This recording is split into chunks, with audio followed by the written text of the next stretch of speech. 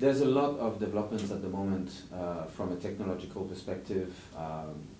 to enable us to reach broader audiences through our communication channels. Um, we have invested a lot uh, in terms of efforts over the, over the last few years uh, in developing an interactive uh, web portal to provide access to you know, information to a broad range of, of people in the system as well as the population of New South Wales. And increasingly also we can embed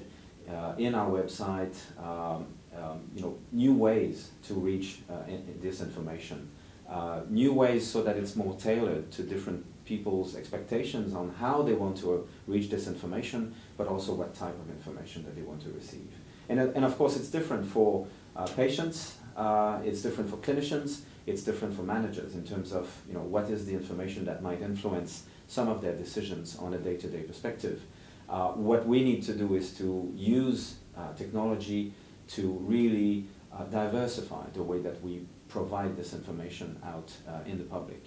Many organizations like BHI have traditionally used printed reports um,